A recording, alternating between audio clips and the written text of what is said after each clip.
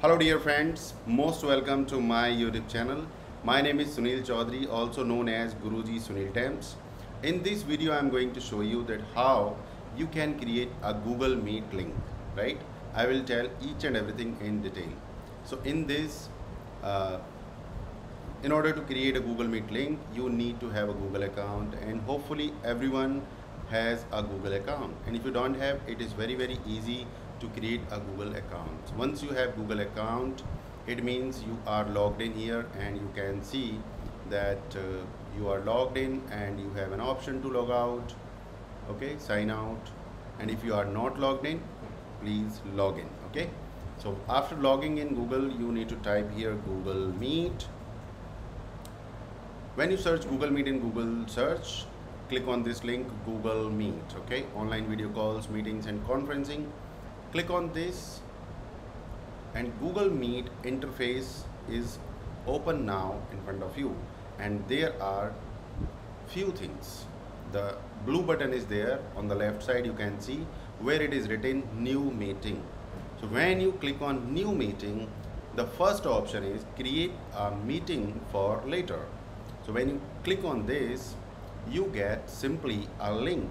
That is Google Meet link you can share this with your friends via whatsapp or on via sms or via email or whatever way you like you can share this link with the people who are going to be part of your google meet.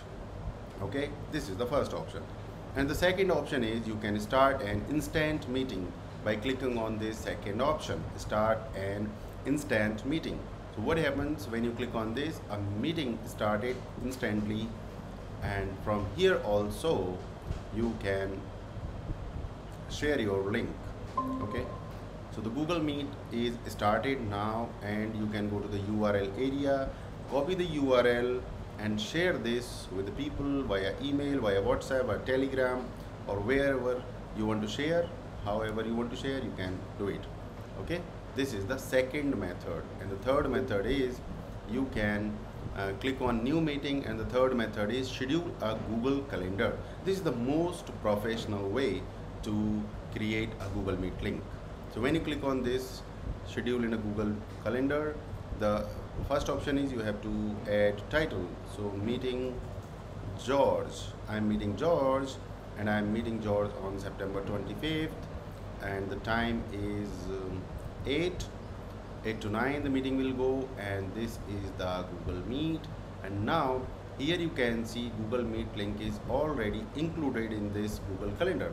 So simply i have to type the email id of the person and uh, there are few more options. You can modify email i mean you can allow your participant to modify event. You can allow your participants to invite others. You can allow your participants to see guest guest list if you don't want any of these options, remove all the tick boxes and then click on save.